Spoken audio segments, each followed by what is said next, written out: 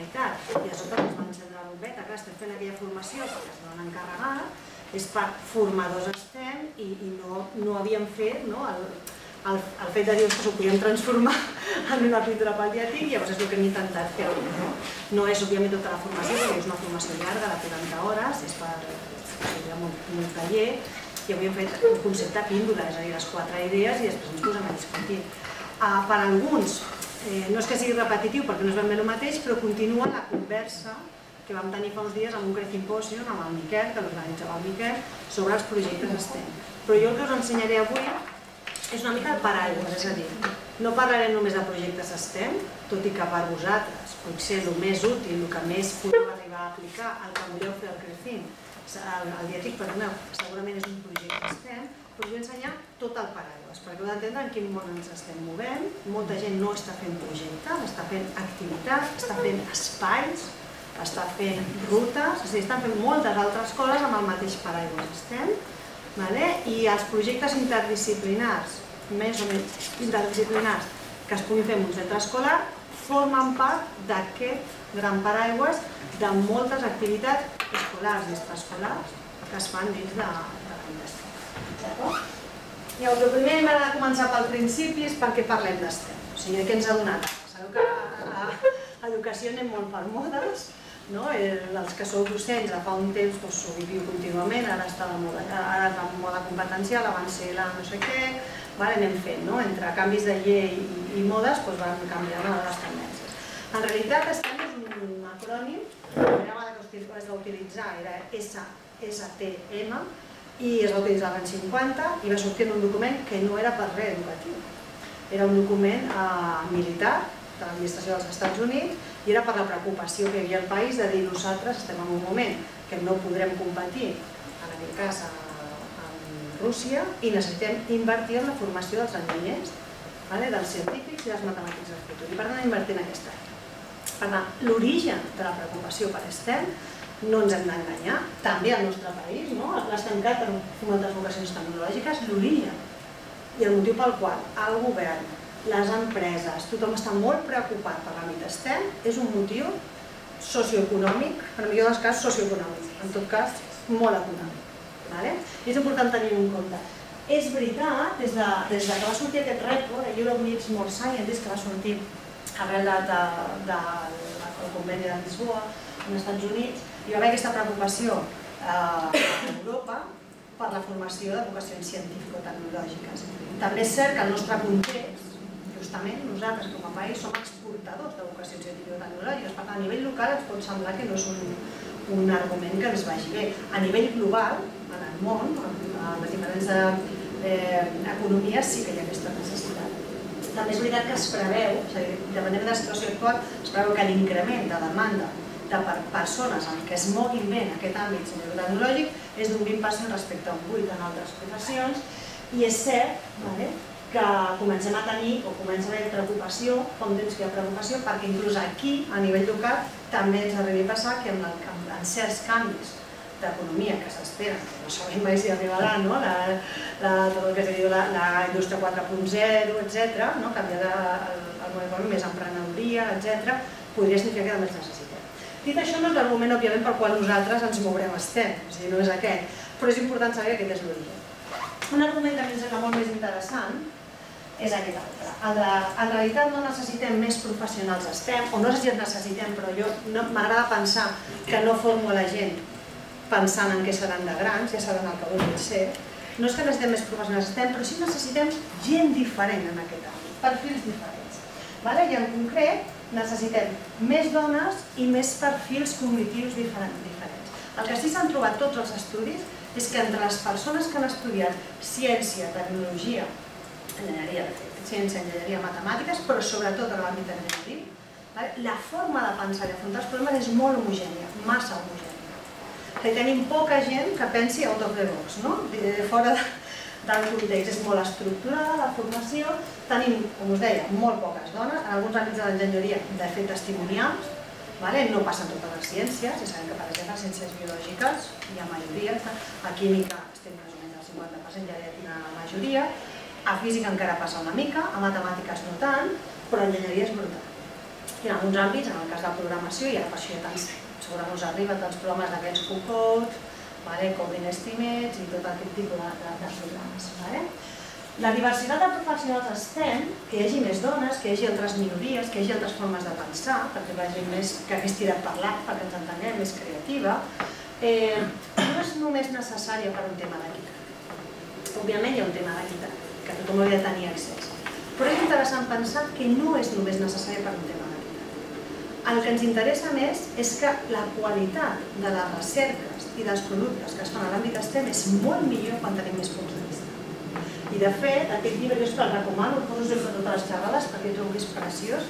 Es diu Gender Innovations in Science and Engineering, és un llibre de eh, Linda Schober, que és una persona que és economista a Harvard i ha estudiat quan li ha costat a l'administració americana no haver tingut una perspectiva de gènere en la inversió en ciència i tecnologia. I posa exemples molt punyents de com no tenir aquesta perspectiva en concret no només fa que la recerca sigui menys útil o menys perceptible socialment és que és pitjor recerca. Per exemple, poso quatre exemples que es veuen clars. Per exemple, la recerca que es fa en les condicions de seguretat dels cotxes, els famosos damis, que tenen la forma d'un home renaixentista de Vinci, que no és cap dels que esteu aquí de nois i des de cap de les noies, vale? i que ha fet que tot el sistema de seguretat es faci en base a unes mides que no corresponen a una part important de la població i que aquests sistemes de seguretat, de fet, siguin insegurs per dones embarassades, per persones amb sobrepès, per persones d'estatura més baixa que la mitja. Vale? I per tant, en països com els Estats Units, que tu pots demandar a la companyia, això ha tingut un cost brutal.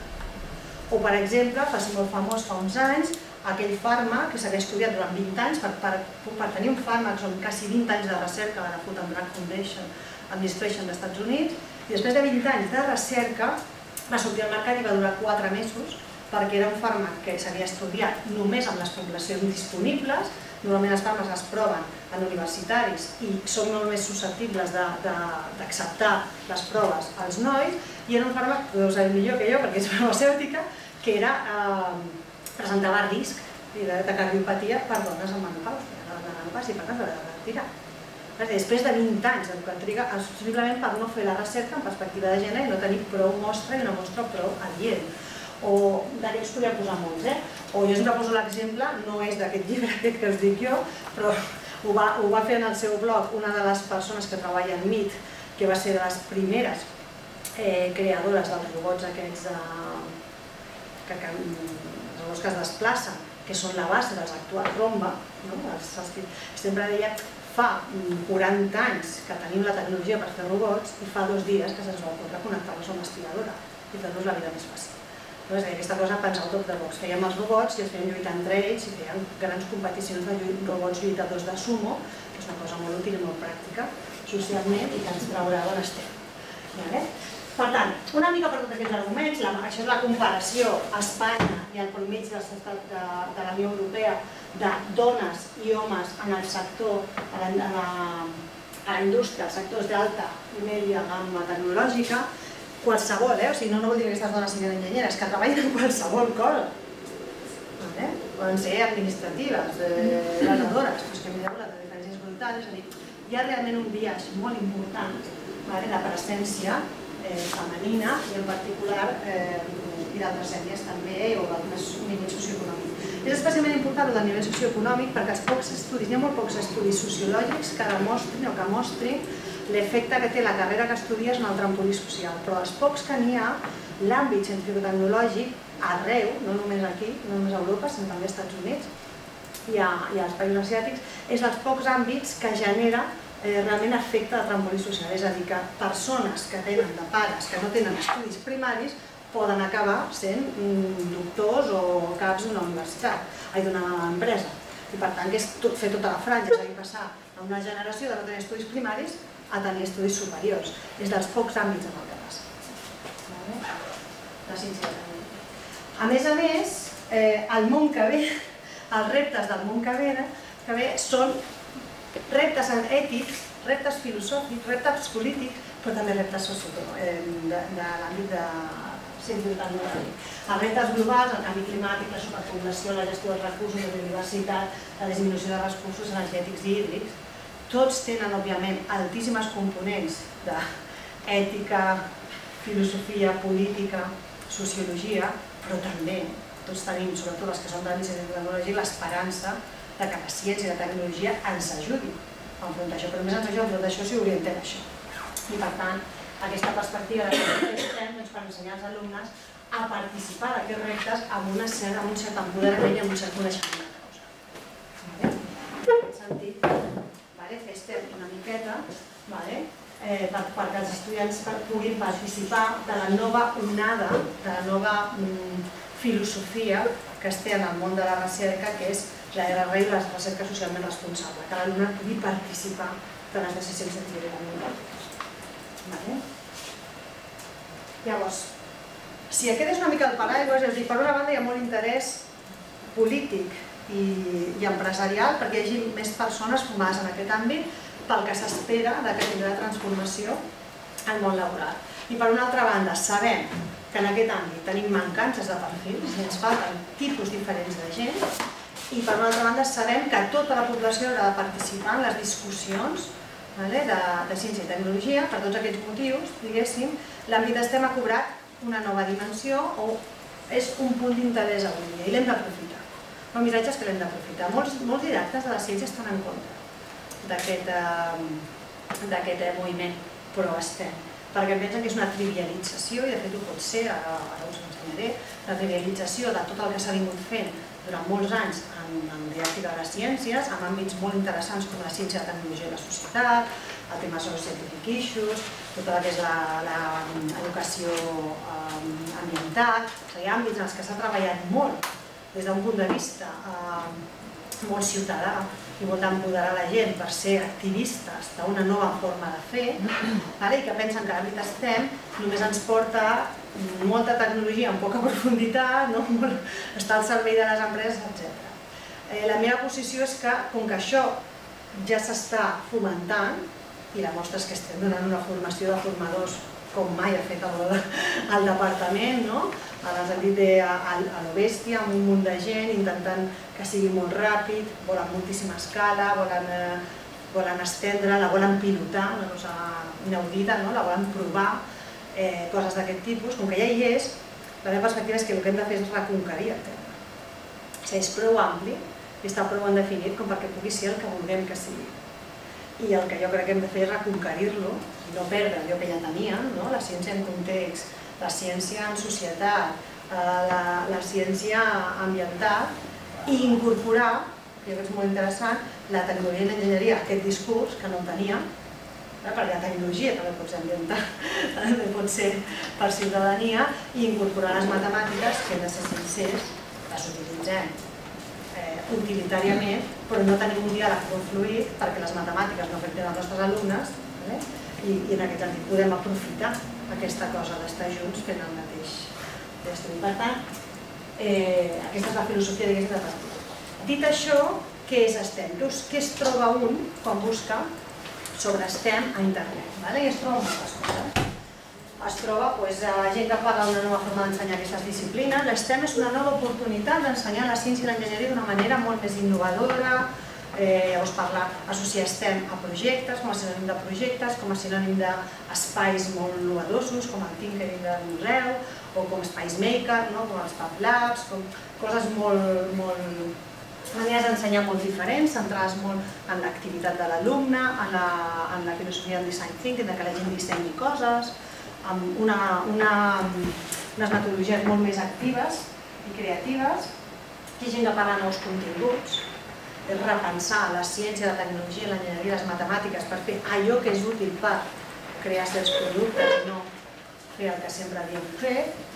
Hi ha gent que parla d'un nou objectiu, no? en realitat es tracta de que la gent li agradi més aquesta àrea i per tant de despertar vocacions, de generar interès, de fer el que calgui perquè la gent no vegi això com les assignatures difícils, estereotipades, no l'estereotip del, del friqui o del brillant o del el que no sóc jo, diguéssim, no? que és el que passa en l'àmbit científic tecnològic, quan els altres es posicionen dient està molt bé això, però és per un altre tipus de gent, no és per mi.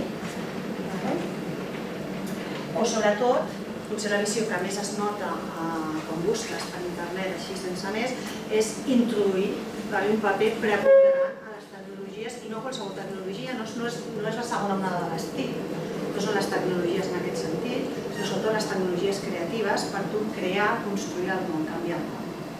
No, no tant per comunicar-se, no tant per tot el formatge. Bueno. I la gent us dirà que és una moda, ja passarà. Deixem que corri, deixem que passi i ja ens esperem a la, a la següent. No? Vull dir que aquí hi ha molts posicionaments. I de fet, si busqueu a internet, les imatges que us trobareu vale? Són molt variades. Hi ha moltíssimes, moltíssims productes en el món estès, que busques sempre els molts productes, Intervit, Makey Maker, Arduinos, Scratch, alguns amb cos i altres sense cos, però productes, vale? trobes moltes activitats eh, creatives o agafades de, de ciència, agafades amb píndoles, per exemple, aquella d'allà que és Make a Color Rainbow, i simplement doncs, fes un, un arquiris amb colorats, però és una activitat de química, i, bueno, química o, o de pintura o d'esplai o del que vulguis, depèn, no? O sigui, si treballes la química et poden ser, si no, no. O per exemple, doncs, si has de impressores en 3D tan portàtils com no, experiments, molta programació, s'associa molt la programació, construir coses també amb materials quotidians, trobes realment un batiburrillo de coses que és molt difícil fer endreça i treure l'aigua clara si només miressis les activitats que s'estan fent d'estem i el que la gent diu que s'estem. De fet, hi ha un autor, no sé si la cita en algun, que diu si busques estem, a la literatura trobaràs que la gent es refereix a una cosa com una, una cosa nova i una mica com excitant, no? així xula, vale? I, i poc més. Vull dir, no trauràs gaire, gaire més. Vale? El que sí que té en comú totes aquestes coses és que per la gent que les presenta integra o intenta posar juntes algunes d'aquestes disciplines. Més la T, més la M, més la S, però algunes d'aquestes. Vale? Quan nosaltres ho hem preguntat als profes, com ara vosaltres, vale? el que ens han dit molts profes és, eh, per exemple, no? aquí tenim com diferents coses associades a STEM, pensament computacional, pensament matemàtic, pensament centrat en el disseny, pensament científic, creativitat, resolució de problemes, pensament crític, habilitats comunicatives. El groc vol dir totes les activitats STEM ho han de tenir, el gris algunes activitats STEM ho tenen. Fixeu-vos que es veu clarament com el que es considera comú a totes les activitats STEM és aquestes coses transversals, creativitat, resolució de problemes, pensament crític, habilitats comunicatives, que el que es considera propi d'algunes és cada una de les disciplines, més matemàtiques, més enginyeria, més ciències, el tema o el tema de les, eh, de les, del pensament computacional, que déu nhi vale? o les tecnologies. Alhora, quan hem preguntat quines activitats consideres estem, quan us fèiem ara, doncs la que més es considera estem és disseny de videojocs, vale? creació de coses amb tecnologies, vale? creació, no, no, deixo bé, però persona, creació d'artefactes amb tecnologies creatives, creació de dissenys funcionals vale? i projectes de recerca. Vale? Perquè veieu una miqueta. I de fet, això s'ha vist una mica diferent, alguna gent deia jo no considero STEM les activitats que només treballen en un àmbit, és a dir, si no és interdisciplinar no ho considero STEM, o no considero STEM les activitats que són hands sense context. És a dir, dues coses que sortien molt sovint era integració i contextualització. Això és el que més, coses feien referència. Una altra de les coses que sempre sortia en aquestes dues fredes és quin paper té la tecnologia STEM. Això és el que ens han dit profes, eh? després us dic el que diu una mica de literatura, que pensem nosaltres, que estem discutint sobre ell i que estem construint eh? el constructe i ara la discussió amb vosaltres a veure què ens diu. Respecte a la tecnologia, teníem com els tres gradients, teníem des de profes que deien no requereix cap tecnologia específica fins a si no hi ha tecnologies creatives no s'estem, no hi ha TICs o tecnologies creatives no s'estem, i respecte a l'objectiu vale, teníem des de comprensió de fenòmens naturals, l'objectiu més científic, permetre l'expressió estètica de l'il·luminat, perquè en STEM també hi ha qui diu no STEM, en realitat és STEAM, que està de les arts, o el disseny i creació d'artefactes i l'estudi de les creacions humanes. Aquests són com els grans que han sortit. Què pensem nosaltres? Estem donant voltes i a veure què... Si, si, discutint amb vosaltres també ho aclarim una mica. A veure, el que sí és veritat és que si et mires les, les reflexions una mica profundes, les més profundes que hi ha, que són les que s'han proposat en el nou currículum d'Estats Units en alguns documents d'orientacions curriculars de quan es volen fer projectes integrats. I alguns autors que fa temps que parlen d'aquest àmbit, encara que venen de coses específiques, com el pensament computacional o, o tecnologies creatives en concret en reflexió econòmica sobre l'àmbit, el que es parla molt és que no tindria gaire sentit pensar que STEM és eh, algo que surt, que és producte de desenvolupar per separar la competència científica, no? una assignatura fem ciències, amb una altra assignatura fem tecnologia, com ja fem ara, i una altra assignatura fem matemàtiques, i els nostres alumnes són STEM, que és a dir, estan formats vale, en les competències de l'àmbit científic tecnològic. La, la idea que és subjacent a la necessitat d'aquest acrònim o que l'educació STEM és pensar que quan ho fem així, en realitat no ho intenten vale? i no ho aprofiten. No aprofiten el que pot donar de més treballar-ho conjuntament. Involucrar-se en un procés en el que realment necessites les altres àrees per poder solucionar. És a dir, que no és el mateix estudiar ciències perquè estan m'agraden les ciències o perquè el problema aquest necessita les ciències que estudiar les ciències perquè el que jo vull fer necessita ciències, necessita tecnologia i necessita matemàtiques. Vale? En diferents graus, eh? perquè projectes totalment balanceats integrats tampoc és fàcil de realitzar. Llavors, a nosaltres ens sembla que és interessant entendre l'educació STEM com una generació de noves oportunitats educatives, una altra, una cosa que fem, de, no de més a més, sinó en lloc d'altres coses, òbviament, però que genera una nova oportunitat educativa per treballar en l'àrea de competència global. El que en realitat necessitem, si pensem en què volem, si pensem en què volem, és a dir, per què fem tot això, per quins alumnes volem nosaltres, en realitat el que volem són persones que naveguin amb una certa comoditat en l'àmbit científic-tecnològic. És a dir, tots nosaltres cadascú tenim la nostra disciplina. Som físics, altres químics, altres farmacèutics, tecnòlegs, el que sigui.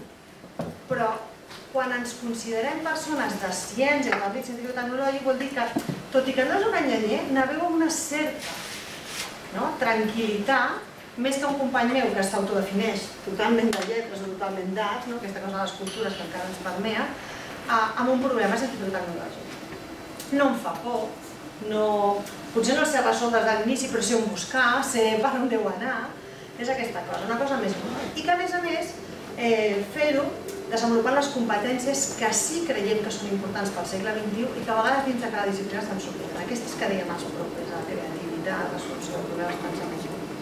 Per tant, el que estem dient una mica és que volem treballar la competència d'alfabetització matemàtica, la competència d'alfabetització enginyeril i la competència de l'analització científica d'una manera que els nostres alumnes, mentre no fan una carta, mentre estan en l'educació obligatòria, en realitat el que fan és moure's bé en aquest entorn. No sé, no, no, no desenvolupes exactament la competència científica com la faries quan fas només ciències, que és molt en profunditat i una cosa molt concreta de ciències, no la competència enginyeril com la faries si estiguessis fent la carrera d'enginyeria, però moure's bé en aquest entorn. Vale? I alhora, amb el que dèiem, les competències globals, no? són de Center Skills, pensament crític, comunicació, cooperació i creació, que això és el que estem d'acord, que és, aquí, sí que hi ha bastant consens, eh? Aquest estudi, el, de, el que ha donat lloc a què considerem que són els 23 Center Skills, un estudi molt consolidat en el que s'ha analitzat necessitats de les empreses, eh, coses que pensen que són importants als governs, coses que pensen que són importants les associacions educatives. La coincidència és en aquestes quatre. Però a més a més, el que tota la vida havíem fet de competència digital, vale? i a més a més aquesta component nova de que en ciència, tecnologia i enginyeria s'ha de participar, s'ha de ser capaç d'aportar. Potser tu no ets capaç de desenvolupar un producte tecnològic, però has de sentir-te empoderat d'opinar, perquè potser algun dia, això és Eh. somiar, com a tenim les coses de, a nivell polític avui dia és somiar, eh? no sabem el que tenim, però la idea és que algun dia vale, les, les decisions científico-tecnològiques les prendrem molt més en comunitat i amb la ciutadania. Aquest és l'objectiu que es vol anar des de la perspectiva de la rei. Per tant, ser capaç de navegar bé en aquest món. Vale? I fixeu-vos que això vol dir eh, potser no tenir un èmfasi brutal en cada una d'elles, però sí posar els alumnes en situacions en què necessitin. De fet, si a mi em preguntés si ara hem de canviar a les classes de ciències, tecnologia i matemàtiques totes per projectes STEM, no ho sé. Diria a priori diria no, a no ser que en aquests projectes STEM a vegades sigui un projecte de síntesi, un projecte de matis, un projecte de tècnic, diguéssim sol. Vale? Perquè els projectes que són més integrats, que són per moure's aquí, pivoten sobre el que has après en altres més, més concrets, però difícilment seran entorns al que basa aquesta profunditat en cada una de les disciplines. Vale? Poden ser-ho si ampliem la definició d'estem. Però el que sé segur és que hi ha una tensió aquí. Si estem és integració, llavors és difícil anar a fons. I si no diem estem és els projectes integrats més cadascun dels projectes de cada una de les àrees. Vale? De una combinació entre les dues. Si això més o menys estem d'acord, jo he intentat fer, una mica gossarada, perquè no calia, però a mi fa il·lusió fer això, i vaig intentar fer una definició de llavors què voldria dir vale? eh, la competència STEM. I per mi el que vol dir és que la, la, la competència STEM seria la capacitat d'identificar, aplicar o reflexionar vale? sobre les formes de fer, pensar i parlar en ciència, tecnologia, enginyeria i matemàtiques. Aquesta, primera, aquesta part d'aquí és el que la píndola de l'any passat o fa dos anys, jo no ho recordo, vam parlar de pràctiques científiques, en recordeu? Quan dèiem, fer ciències és molt més que conèixer els productes de la ciència, és involucrar-te en l'activitat científica de construir coneixement científic. És indagar, és modernitzar, és fer preguntes investigables, construir explicacions a un nivell, perquè jo m'imagino, és comparar-les amb les científiques. El mateix passaria amb enginyeria. És quina és la pràctica de l'enginyeria, la pràctica, igual que la pràctica científica té el seu procés i les seves pràctiques privilegiades, l'enginyeria també ho té. És a dir, què fem quan fem un producte? Prototipem, planifiquem, prototipem, uh, fem user experience, testegem, és a dir, té unes fases, té unes formes de fer que són tan importants com els productes de l'enginyeria. És a dir, tan important és conèixer què és un alternador com saber com hem arribat a tenir un alternador. Com s'ha dissenyat això. La ciència és igual, tan important és conèixer la teoria de l'evolució com sabem el procés pel qual arribem a una teoria així. I jo experimentar-lo, és a dir, jo quan veig aquestes evidències que, em fa pensar i si sóc capaç de construir una explicació. Llavors és fer això, identificar, aplicar o les formes de fer pensar d'aquests tres àmbits de forma més o menys integrada, que us deia, si és molt integrada no serà tan profund, si és poc integrada puc enfatitzar una forma de fer, per tal de comprendre, decidir i actuar davant de problemes complexos i per construir solucions creatives i innovadores, i això és molt important, aprofitar les sinergies personals i les tecnologies disponibles. Des del meu punt de vista, la tecnologia no és un fi, és una que jo aprofito en aquest procés, igual que aprofito la gent en aquest procés. I sempre poso el mateix exemple. Les, persones no som interdisciplinaris. Les persones quan estem formats, quan ens considerem segures del nostre coneixement, som d'una disciplina. Els problemes són interdisciplinaris. I per això les empreses, quan tenen un problema interdisciplinar, el que fan és contractar un equip de diferents experts en disciplines. I l'equip és el que soluciona el problema interdisciplinar, no cada una de les persones. A vegades amb els alumnes estem perdent això de vista i els nostres alumnes han de pensar des de totes les disciplines. I això és un procés que no som capaços de fer els experts, el que no té el coneixement encara menys. Vale? El que acabes fent, quan has de pensar les de totes les disciplines, el que acaba fent és que no penses en continguts, fas només coses transversals, perquè no t'ho permet. Sigui, no pots apoyar-te en aquella seguretat que et donen els continguts o la teva, la teva visió disciplina. Per tant, les tecnologies i la gent és allò que aprofitem per solucionar problemes interdisciplinars o problemes externs. I aquí poden passar dues coses i ara ja poso un exemple que potser s'entén millor. Jo puc tenir un projecte que li dic STEM, potser no ho és tant, vale? però li dic STEM, que és un projecte bàsicament científic, el que sempre hauríem fet, per exemple, una uh, recerca, una, una investigació sobre uh, la caiguda, vale? una caiguda, per exemple, que la, pràctica que fem no? de la caiguda del, del, no em surt el paracaigudista, vale? del puente, la sala de puente.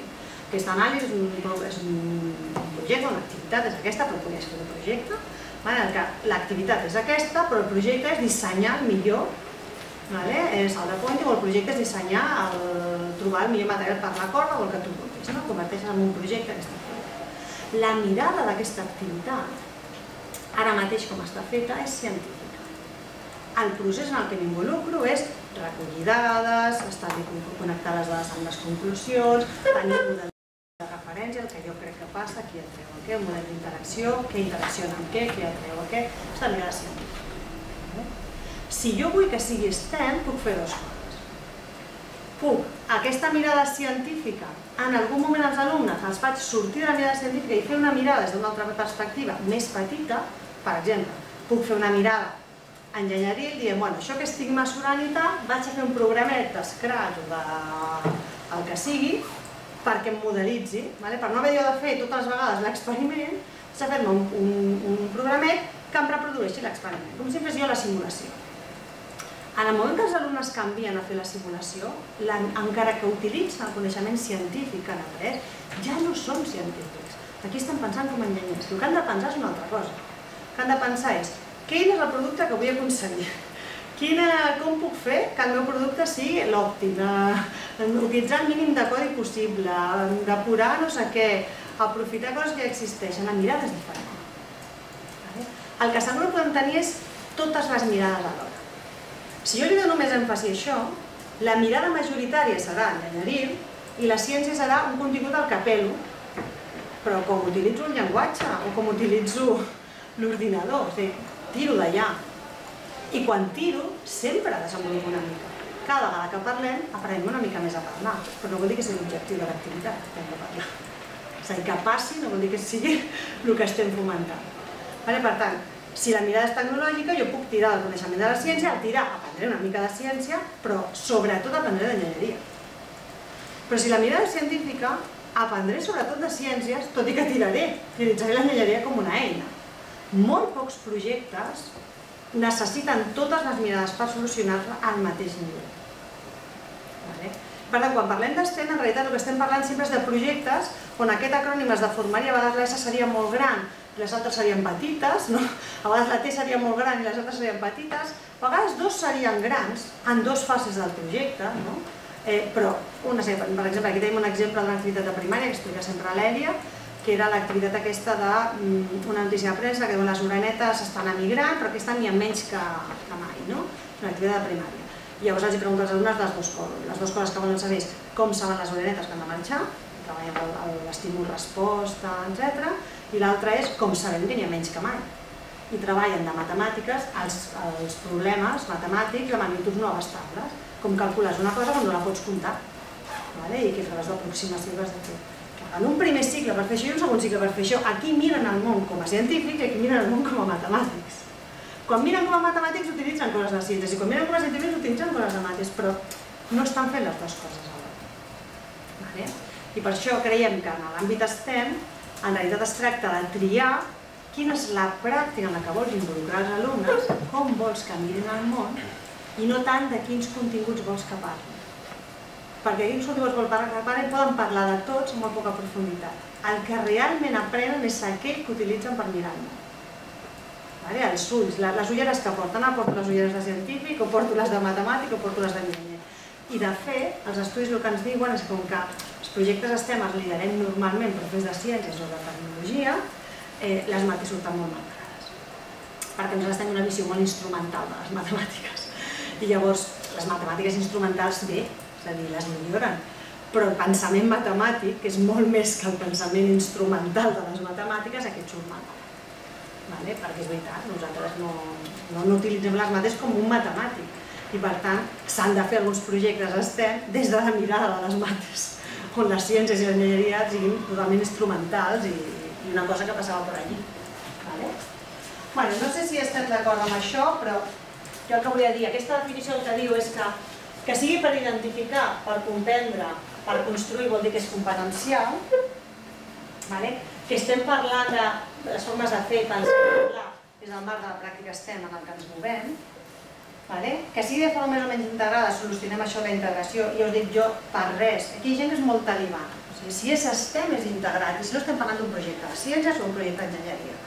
Jo crec que ens equivoquem si fem això, sincerament crec que ens equivoquem. Per què? Primer, perquè la integració total és falsa, no passa en el món. Què us dic? O sigui, els problemes hi són interdisciplinars, però la gent no ho és. I estem donant la falsa sensació, jo sempre dic l'efecte tertuliano. O sigui, el segle XXI es caracteritza perquè la gent sap de tot. Vale? I això és molt dolent. O sigui, els nostres alumnes estan acostumats a veure la mateixa gent opinant de totes les coses molt superficialment. Seria molt bo que veiessin la gent opinant d'una cosa que és la que saben molt profundament. Per tant, ensenyar això també. Ensenyar, no, ara, ara ens estem mirant això com a científics, ara som científics, ara els científics què fan? Miren les dades, miren no sé què, vale? les idees científiques són aquestes, i això ho fem en profunditat, perquè és científic. Vale? I quan som enginyers com una altra cosa. I aquesta idea de que eh, hi ha repte i context i a les persones i les tecnologies són recursos privilegiats. Recursos privilegiats, no el fi. És a dir, el fi, la fi d'un projecte STEM no pot ser treballar en grup. Això sentit, no us ho podeu imaginar.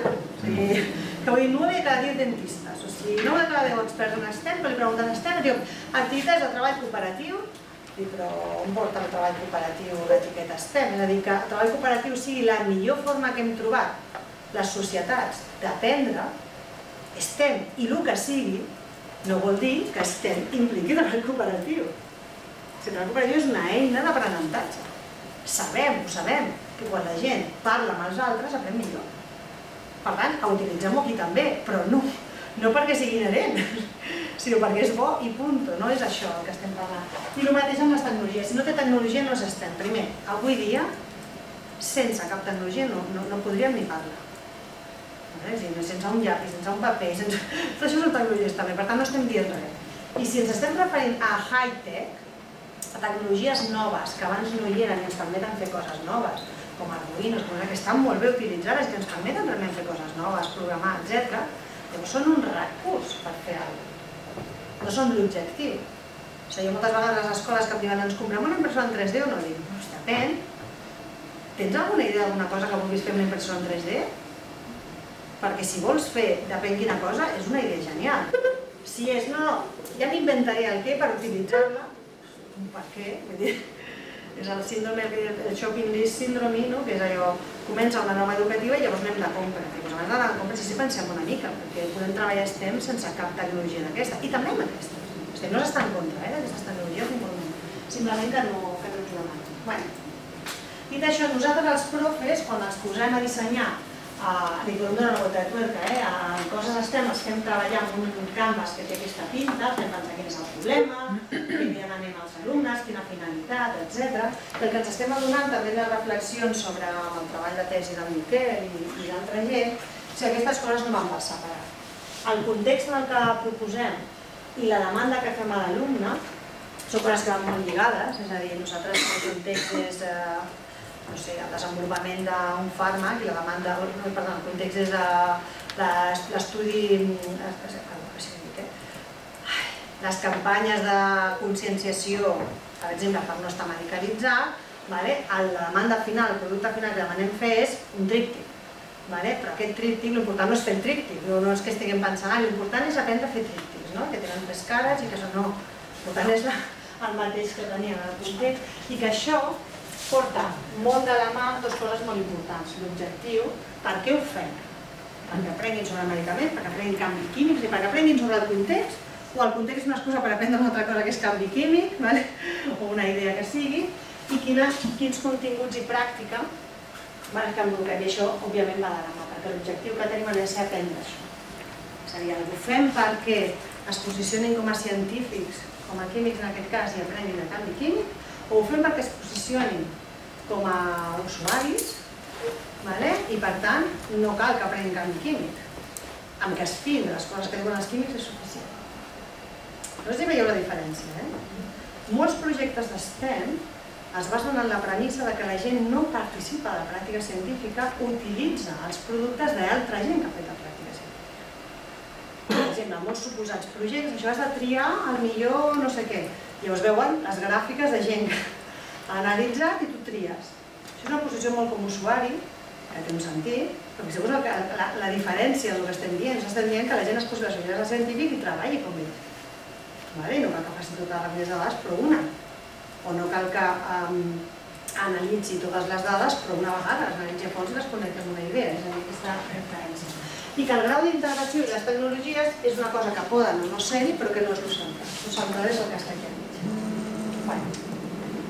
Dit això, en la formació que estem fent vam identificar diferents mites que tenien els professors que venien i els vam intentar com clarificar. Alguns ja els he anat dient, simplement comentar coses. Per exemple, el mite 1 és que les activitats intel·ligents estem treballant cada una d'aquestes disciplines de forma integrada, ja hi hem parlat molt, vale? molt difícil trobar un projecte que treballi totes, quasi impossible hauria de ser molt llarg, perquè has de fer cada mirada en un moment donat, perquè vols que aprengui la mirada. És a dir, no la porten de casa la mirada de la ciència de l'enginyeria, mentre l'estan aplicant vols que aprengui. I això és molt llarg. Que per ser una bona actriu d'estem ha d'involucrar tecnologies creatives ja ho hem dit, no necessàriament. De fet, nosaltres estem trobant que la tecnologia et permet fer coses que si no són difícils, sobretot a un cert nivell, en particular en pensament computacional, òbviament sense programes de programació i sense alguna cosa que faci el que diu el programa és difícil de desenvolupar-ho a un cert nivell, però que des de luego no és la manera de començar. És a dir, totes aquestes tecnologies es poden començar amb una tecnologia més senzilla. Tu pots començar creant amb Arduino i programant, etc. Però per allà arribar aquí hauries de primer saber què vol dir crear amb cosetes manipulables a infantil, senzilletes tota la vida, palletes, caixes i no sé què. Perquè la gràcia d'utilitzar tecnologies programables és veure que llavors has fet això i ara ja no pots fer res més. Un cop el tens fet ja està. I com seria programar-ho perquè faci el que tu vulguis, que és una, és un pas més. Per tant, que, no, que, que això és a la fi, al final podem arribar aquí però no hem de començar aquí, que només es pot treballar sempre en projectes, no és veritat, es poden fer activitats sueltes, es poden fer espais, jo crec que tenen molta gràcia els espais.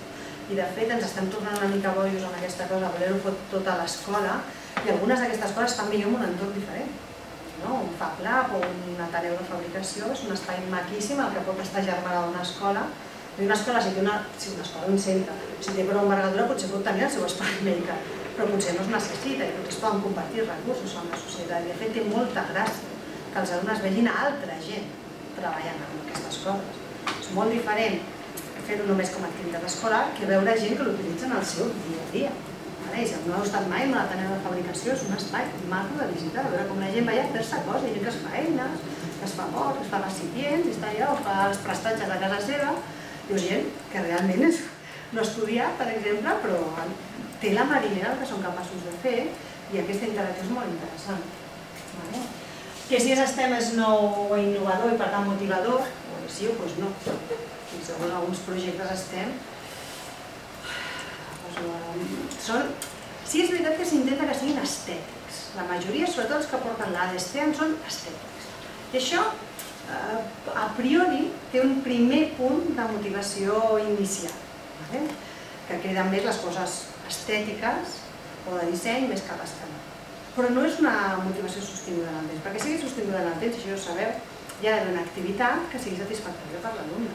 L'activitat satisfactòria per l'alumne, si els aconseguim enganxar, si ben posats, realment anar passant reptes, anar passant pantalles, o sigui, en el fons.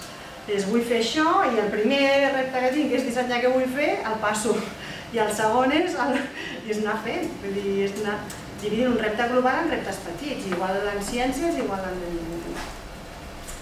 Eh, que estem no té sentit si no s'estem, aquí ho diu molta gent, l'estem, la ciència, la tecnologia, l'enginyeria i les matemàtiques, si no s'amaguen darrere una cosa estètica, artística, humanística, filosòfica, no atreuen a la gent, vale? jo crec que aquí ens podem entrar en un parany, perquè els alumnes s'entenen eh, que els intentem enganyar.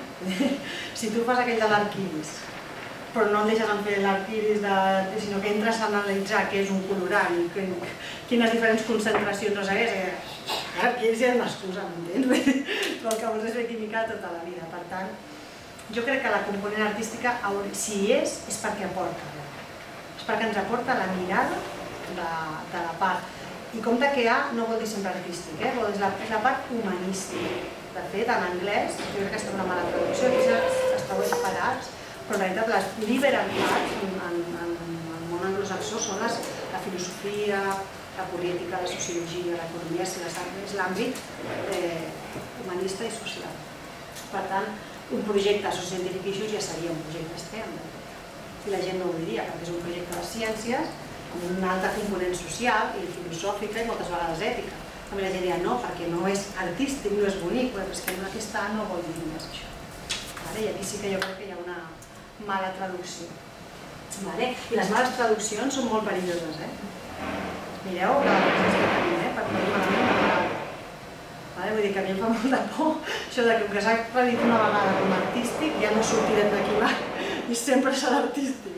I és simplement una mala traducció i una mala interpretació del, del, que es volia dir. I per últim, que estem implicant construir alguna cosa. Doncs no sempre. Quan mana la tecnologia i l'enginyeria, sí. Vale? Quan mana les ciències, me pots pensar que construeixes alguna cosa, és una explicació, però en realitat oh, fas una investigació, no, té, no tens per construir alguna.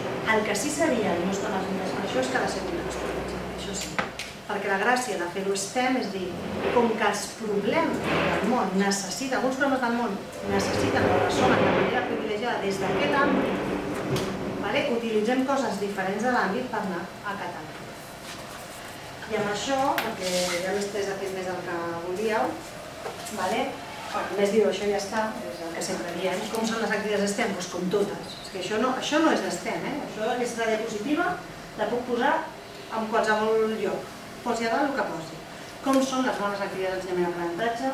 Contextualitzades, involucrants, no? problematitzades, autèntiques, perdoneu, que ja falta, orientades a l'acció, potents com a tot l'aprenentatge, és a dir, si a tot l'aprenentatge vol dir que sobretot simulem. Quan ens posem les vies de científic de científic, juguem a fer la professió, o juguem a jugar, o juguem a actuar, però ens hi posem cooperatives i comunitàries, empoderadores i desfamilitzadores a la. Ja està. Això totes, les estem, totes.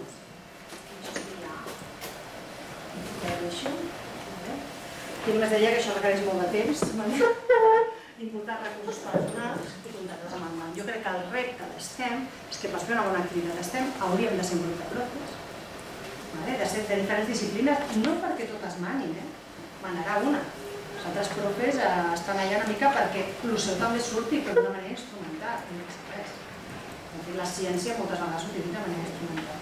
Una metàfora que nosaltres utilitzem amb el Miquel per la seva tesi, ens va molt bé, és pensar uh, utilitzar les classes STEM, les classes de ciències, tecnologia i enginyeria, com utilitzem al, al món.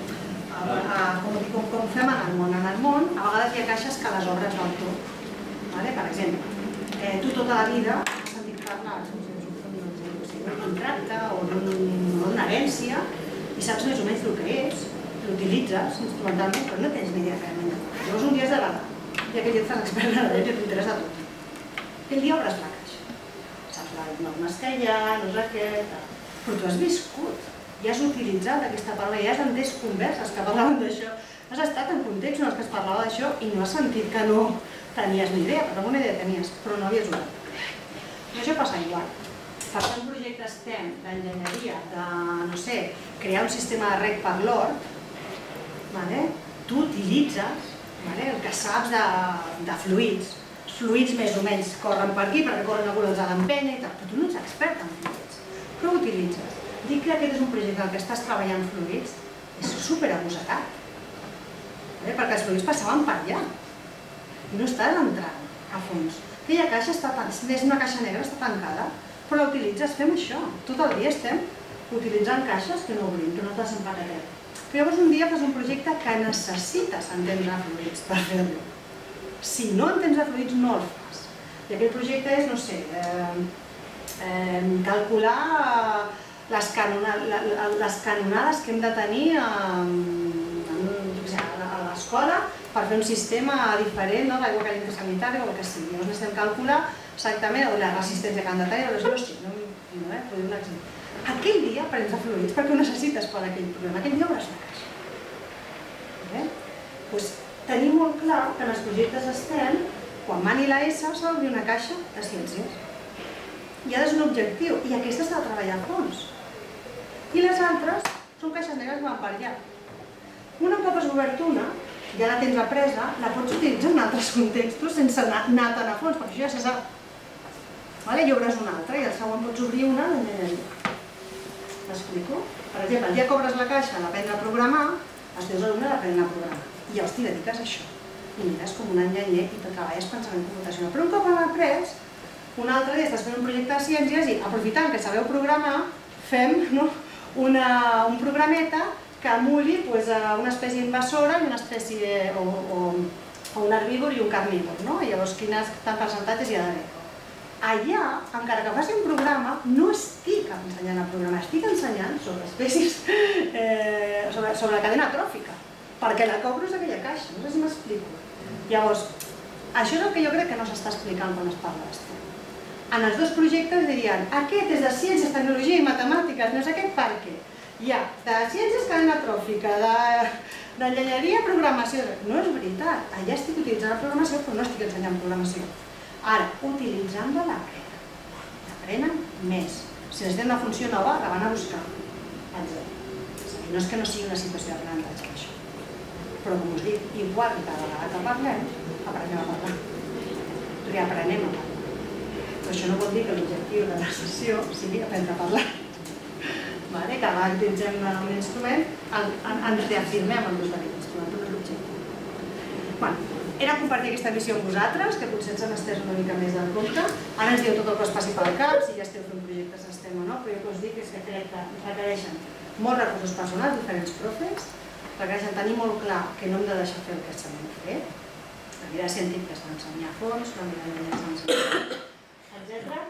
Que els contactes amb el món real i la comunitat són molt útils, perquè molta gent diu quan el projecte és autèntic, quan ve una cosa, de veritat, una demanda, no, és que en aquest barri necessitem, no sé, dissenyar un parc infantil. Llavors, tot el que fem ho fem en funció d'això.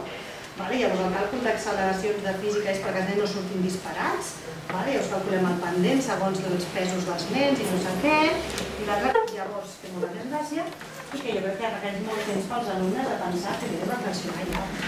És a dir, a mi em proporcionen els patètics els projectes estem de 3 hores o de 6 hores, perquè estem aprenent una mirada d'una. I ja està.